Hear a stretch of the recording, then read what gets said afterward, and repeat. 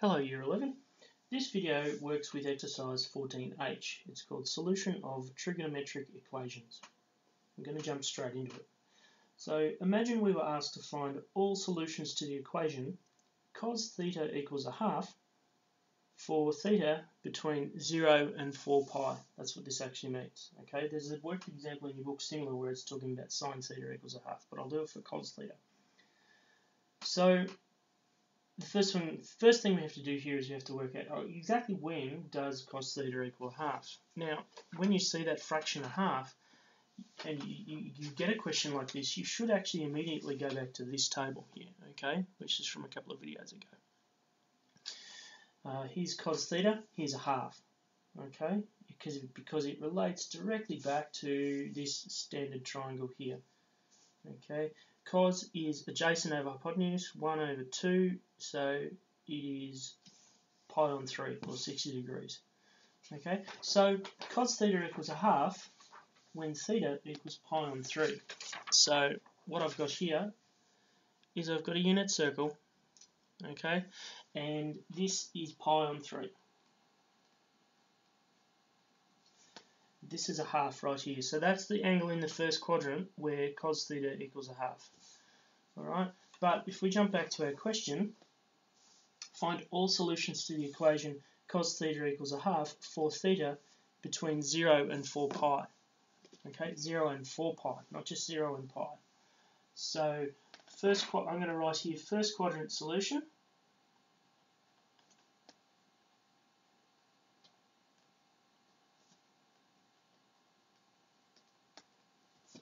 Okay, theta equals pi on uh, pi on 3. I nearly said pi on 6. Theta equals pi on 3. Okay, I'm going to put in brackets there 60 degrees. Okay, but we need more than one solution here. We need more than one solution. Um, when else is theta, uh, when else is cos theta equal to a half? If we jump back to our unit circle here, let's just do this. Yep, that's in focus. Okay, we go back to our idea that in this quadrant, all are positive. In this quadrant, sine is positive. In this quadrant, tan is positive. In this quadrant, cosine is positive. All stations to city. Okay, so there should be a, a an equivalent angle in the fourth quadrant where sine theta equals a half. And it's the mirror one down here. So if I go to there and I just quickly draw this in, it's this angle down here, roughly. Alright? Now, so what's this angle here? Well, if this point is 0 and it's also 2 pi, then this angle represents 2 pi minus theta. So it's 2 pi minus pi on, uh, I keep saying 6, 2 pi minus pi on 3. So let's get that right. 2 pi minus pi on 3. So 2 pi is 6 thirds, okay, um, minus 1 third, it's 5 pi on 3, equals 5 pi on 3, okay, so we've got pi on 3, and we've got 5 pi on 3, Okay, but then we've actually got two more solutions because we went from 0 to 4 pi. Okay, we've just done the solutions for uh, 0 to 2 pi. We know there's two solutions in this one revolution of the circle. Okay, so in a second revolution of the circle, then we're going to have one solution here and we're going to have one solution here. So our next solution is 2 pi plus pi on 3 and our other solution is 4 pi minus pi on 3 okay so our four solutions are pi on 3 5 pi on 3 2 pi plus pi on 3 is 7 pi on 3 and 4 pi minus pi on 3, 4 3s are 12, so it's 11 pi on 3. 11 pi on 3. Okay, so they are our four solutions between 0 and 4 pi. How do we know there are four solutions? Another way of knowing that there are four solutions, okay, is if we go to our cosine graph here, and we want cos theta equals a half, okay, cos theta equals a half, I'm going to go to, let's move that up. Can you see that? Yep. This is our cos theta graph. I'm going to go approximately there. It is approximately a half. Alright, and I'm going to draw that line there. We've got one solution there, one solution there. This only goes out to 3 pi, there's one solution there, and then if we keep this one going like this, there's one solution there. Okay, so there are four solutions between 0 and 4 pi for cos theta equals a half.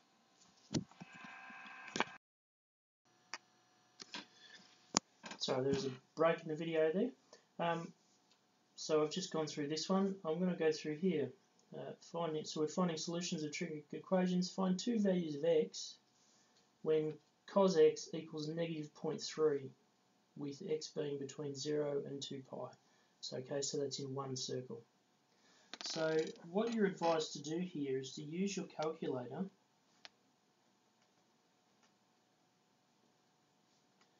to get the first answer.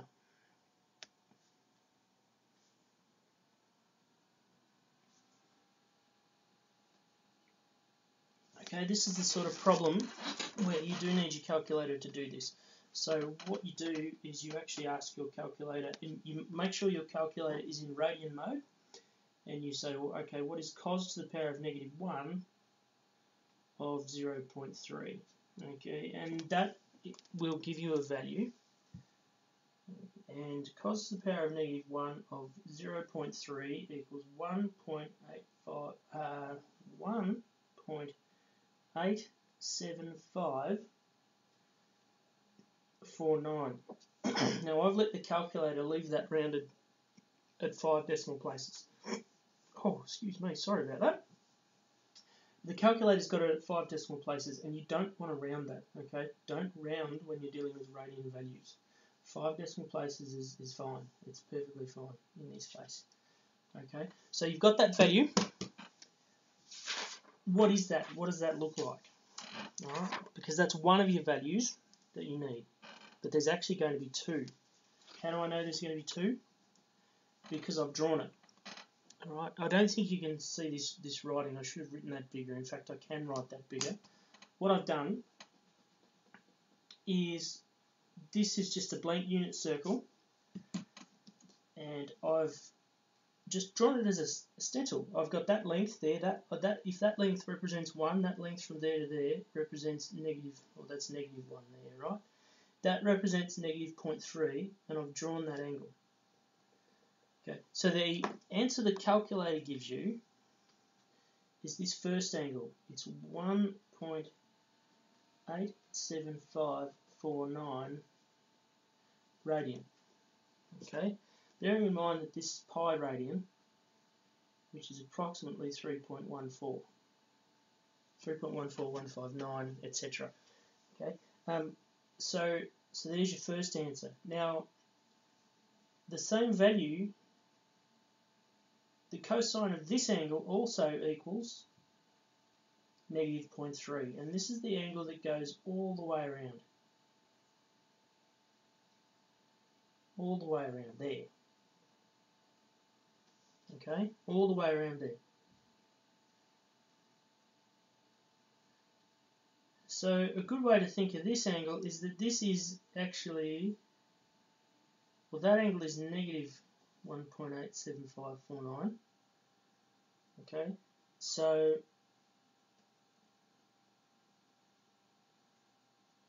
two ways of doing this. Alright, you can work out the number of radians that's in there and subtract it from 3 pi on 2. Okay, and that's one way of doing it. Alright, or you can say, let's do it that way. Let's actually do it that way. Okay, so this is pi on 2. This all the way around is 1.87549. So what you want to do there is you want to go to your calculator and you want to ask, actually say and make sure it's in radian mode and keep it exact. So I've got that in front of me, I'll put that up on screen a bit closer in a minute. What we do is we go to our book, no, shift book, control book, and we say okay, pi on 2 and I might actually just put that in a bracket just in case. So pi on 2, take away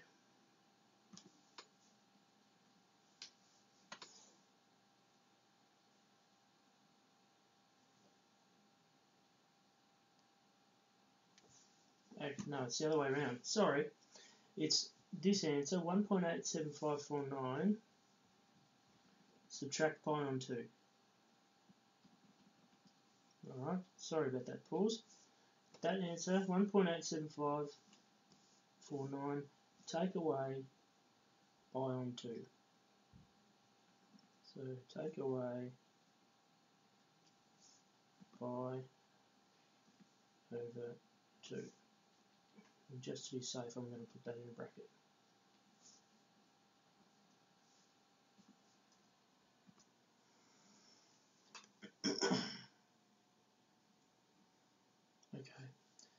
So this in here, the value of this one here is 0.304693.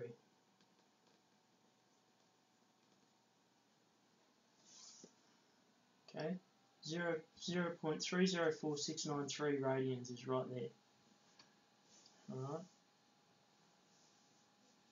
So what I've done, let's actually write it in here. Uh, what I've said is I've said I want pi over 2 take away 1.87549 equals 0 0.304693.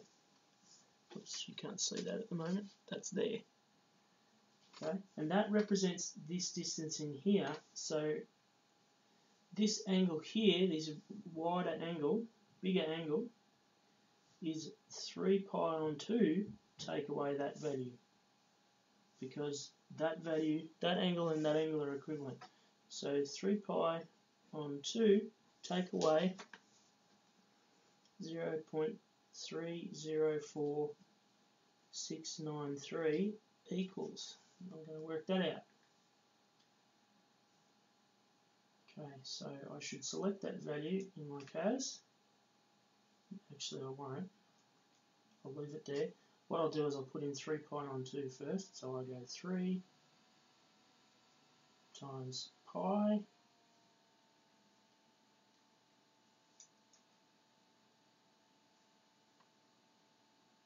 over 2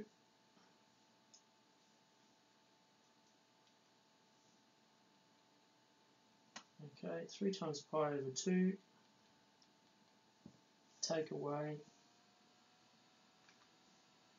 his previous value. Okay, so I'll just put that in the CAS and I'm going to hit enter on that and I get 4.4077.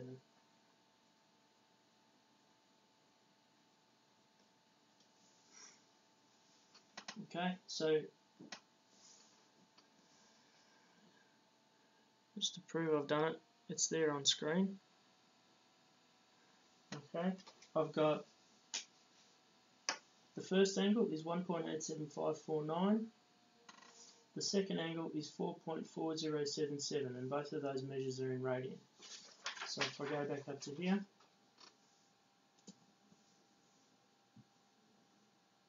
I'm just going to write that there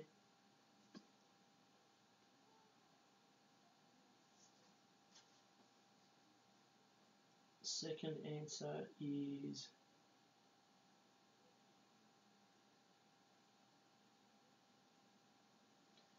four point four zero seven seven. Okay, because of the working out that I've done there. You can uh, you can rewind. All right, that's um, sort of matches with worked example 18 in your text. Okay, have a look at that one. So uh, there's one more there, I think, that I want to do. I'll just pause the video for a second though, I'll come back to it.